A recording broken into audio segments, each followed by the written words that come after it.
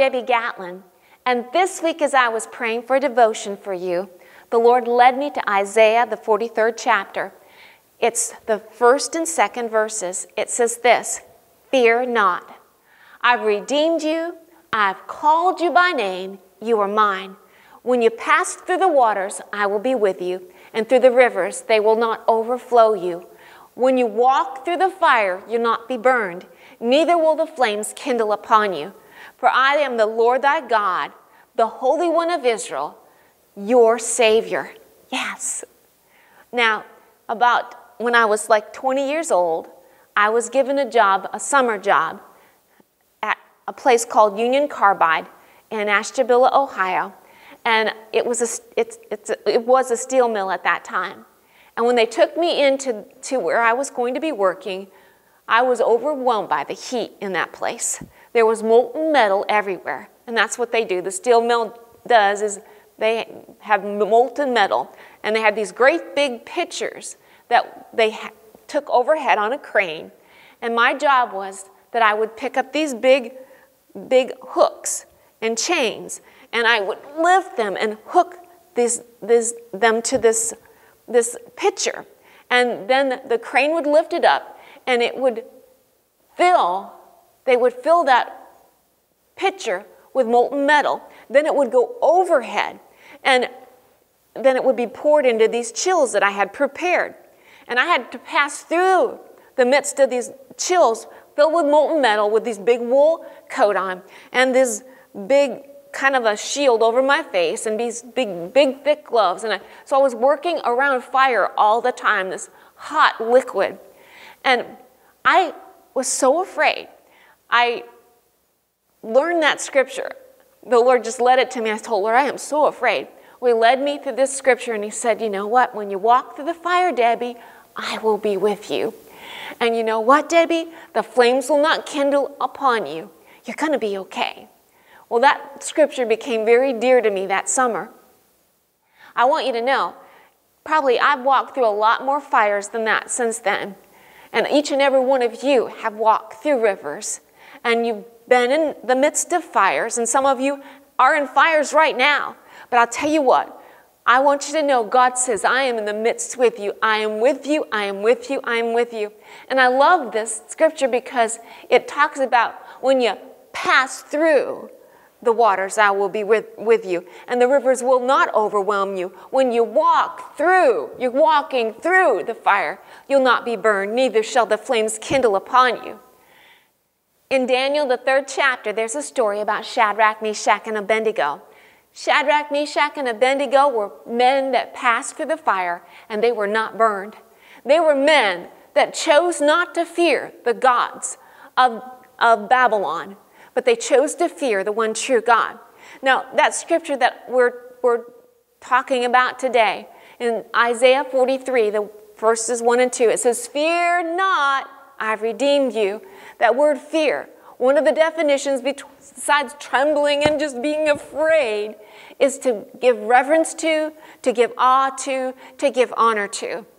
God says, What are you giving awe to? What goes, oh, what causes you to stand back and um, what causes, what are you giving reverence to where you're considering that as important? What are you giving honor to? Which means you're giving them power.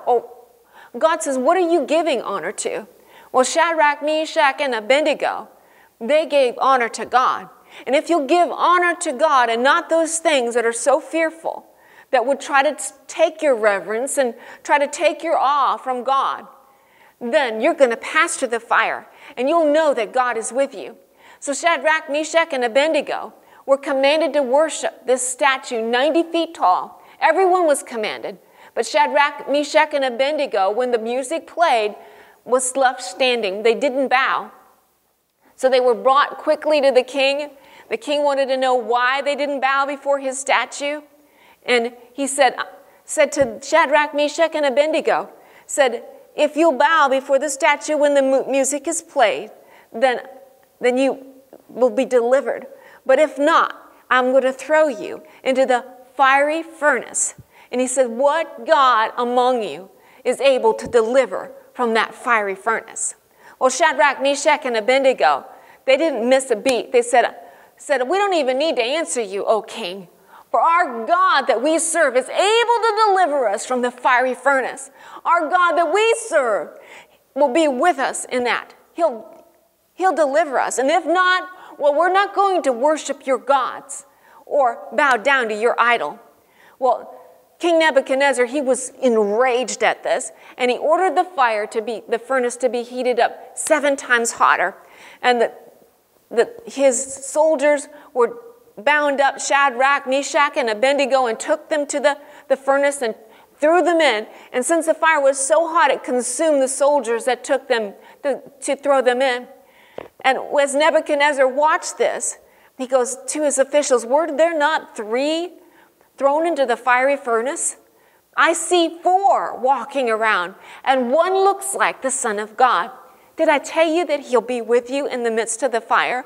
Did I tell you that your God will be with you, that he'll be with you in the midst of the fire? And he's not just with you to stay in that fire, but he's with you to bring you through the fire.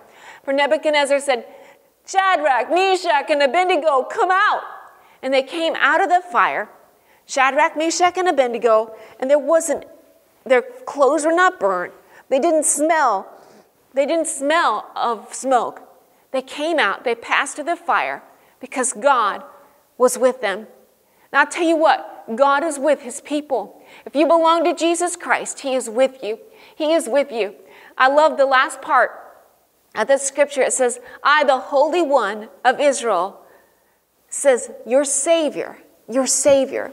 He's what? He's a Savior. He's mighty to save, He's mighty to deliver. He's a mighty, mighty God that will bring you through. He loves you. Many of us are going through some fiery, fiery places. The Bible says we're not to be surprised in 1 Peter at the fiery ordeal among us, which comes upon us for our testing. And then in 1 Peter again, it says that these trials that we're walking through, that, that they're to prove us like gold as tested by what? Fire! Fire again. They're fiery trials that we go through. But God says, you know what? You're going to go through them, and I am with you in the midst of them. I am with you I, to bring you through so that you don't smell like smoke, so that you're not burnt, so that you're not drowned. God Almighty is with you. And I, love the beginning of this verse that we were from Isaiah 43. It says, Fear not. Don't be in awe or reverence or honor the thing that, that's coming against you. But you know what? Fear God. Fear God. It says, Fear not. I've redeemed you. I've called you by name. You are mine. Now, why does God deliver us? Why is He with us? Because you know what? You are not your own. You have been bought with a price. God is a God of, that redeems you. He has redeemed you. I looked up the word that says, Fear not, I've redeemed you. That word redeem it talks about the kinsman redeemer. The kinsman redeemer, that was the, the kinsman redeemer was someone that was related to you. That when he saw you in your poverty, and he saw you in your slavery, when he saw that your land was stolen from you, when, when someone had died in the family, he would marry their, their brother's wife to, to, and take care of her and raise up a child that would be called their name. The kinsman redeemer came and he would redeem. He would make things right. He would give back your property. He would get back your, your, your freedom. He would give it back. And a kinsman redeemer had to be someone that was related to you. A kinsman redeemer had to be someone that was free. Someone free! It had to be someone that had the, the ability to redeem you. They had the finances, they had the wealth that was able to redeem you. And not only that, they had to be someone that was willing to come in, to step in and pour out that wealth upon you, pour out their means to redeem you upon you so that you could go free. So you could go free. In the book of Ruth, it talks about a kinsman redeemer. Naomi and Ruth had come back to Israel from Moab. And when they came back, they were in so much poverty that Naomi asked Ruth to go and glean in the fields. And she was led to the field of Boaz. And as she gleamed around the outside, just and a gleamer was someone that was, they, the laws of God was that you could go into a field and they were to leave some grain for the poor and the needy. So they could pick up this extra grain around the outsides of the fields. And, they, and Ruth went there and she's gathering grain and she comes into the field of Boaz. Well, Boaz is a type of Jesus Christ because I want you to know that our kinsman redeemer, the one that came to redeem us, is Jesus Christ. He is our redeemer. The Bible says of him in 1 Peter that we've not been redeemed with perishable things. Let me say that again. You've not been redeemed with perishable things like silver or gold from our empty, futile way of living inherited from our forefathers but with precious blood, the blood of Jesus Christ. Oh, yeah, with precious blood, the blood of the Lamb, the Lamb, the Lamb of God, Jesus Christ. He shed his precious blood to redeem us, to buy us back, to set us free from slavery.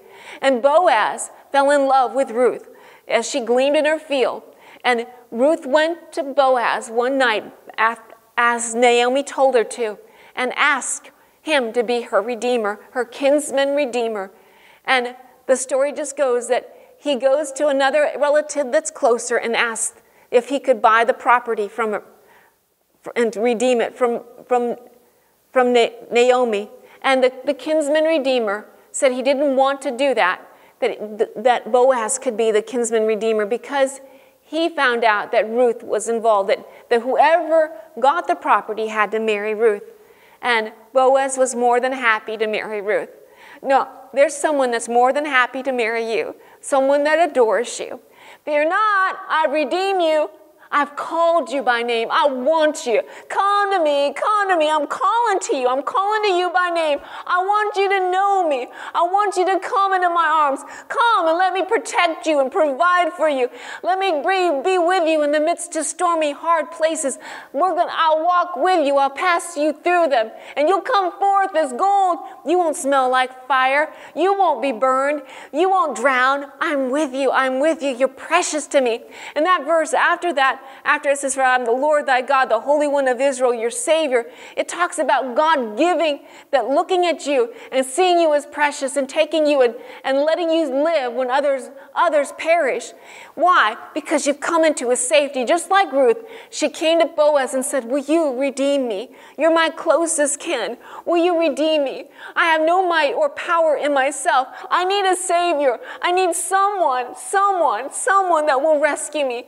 I'm in so much much poverty. I'm in slavery. I need you. I need you. Well, that's what we did with Jesus Christ. Jesus came to redeem us, to set us free. When he died upon that cross, we were dead in sin. We were slaves to sin, the Bible says. But he came, and he, you know, sin became sin upon that cross. He shed that precious blood to wash away our sins, to open heaven for all that would call upon him, for all that would say, I need a Savior. I need someone that will bring me through the fire I need someone that will save me, that will deliver me. I need someone. I need someone. Well, Jesus Christ is the only way. He's the only kinsman redeemer that, that can deliver you, that can save you. He's paid the penalty for our sins. Let me say that again. Let me say this scripture again. Fear not. You don't have to be afraid. Your kinsman redeemer has come, Jesus Christ. Go to him, call upon him. I've called you by name. You know what? You're mine. You're mine. God says when you ask Jesus Christ into your heart, you know what? You're His. You're His. You're His. You're His. You've been redeemed. You've been redeemed. Fear not, I've called you by name. Fear not, I've redeemed you. I've called you by name. You were mine. When you pass through the waters, I'll be with you. What are you going through? God says, I'm with you. I'm with you. And when you Pass through the waters, I'll be with you, and through the rivers, they'll not overflow you. When you walk through the fire, you'll not be burned, nor shall the flames kindle upon you. You know why? Because your God, this Holy One of Israel, your Savior, He's with you. He's with you. Now, I'm going to pray for you, and I just feel like I'm supposed to proclaim over you this day. And as I pray for you and proclaim that God is bringing you through difficult things, I just pray that you would open up your heart and come into agreement with those things that I'm proclaiming. Father, I just praise you and I thank you, Lord God, that you are with your people in the midst of their fiery furnaces, Lord God. You are with them in the midst of their rivers. God, that you're revealing your great love for them, that you are with them, Lord God. And Lord God, that you are showing them how they are being changed in the midst of these places, Lord God. That you are showing them that, Lord, even as Shadrach, Meshach, and Abednego went through the fire, but when they came out of the fire, they were promoted, Lord God, to high places in the kingdom. I just thank you, Lord, that they would see that in the midst of the, the things that they're walking through, Father God, that promotion is right there, Lord God, that they're coming to another place in you, Lord God, that they're coming to new beginnings, Lord, in, in areas of their Lord God. That, Father, those things they've waited upon are opening up to them, Father God. I just declare it. I, I proclaim it, Lord God. I thank you, Father God, that, Lord, you want me to declare that they are yours, they are yours, they are yours, and that you are their Savior, that you are their Savior, that you're mighty to save and mighty to deliver, that nothing's too hard, nothing is too difficult for you.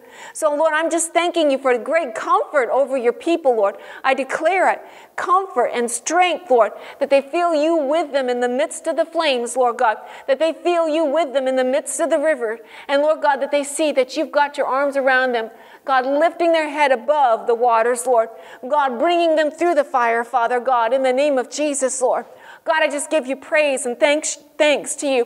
And I thank you this day, Lord God, that many come to know you, Lord. I, I declare it, Lord Jesus, that they would see they need a kinsman redeemer, someone to redeem their soul, Lord God, someone to, to buy them back, Lord God. Lord, your word says that we've been held captive by the devil to do his will. So, Lord God, in Jesus' name, you came to destroy the works of darkness, Lord. And you did it through Jesus Christ. Now, all they have to do is receive. So, I, in the name of Jesus, I just proclaim, Lord God, salvation, deliverance, Lord, that they would receive you as their Savior this day in Jesus' name, Lord. I just thank you and I praise you, Lord. Now, Father, wrap your people up in your love, Lord. Let them, Lord God, have joy in the midst of these places, Lord, because they know that, that Lord, you've called them by name. God, you've redeemed them, Lord God, that they're not fearing what, Lord Jesus, that other people fear because you are their God. You are with them. In Jesus' name, amen. Now, you have a wonderful week. And just know that God is with you. He's with you. He's with you. And He loves you. Oh, this God. He loves you. He loves you. He loves you so much. You have a wonderful week. God bless you. Bye bye.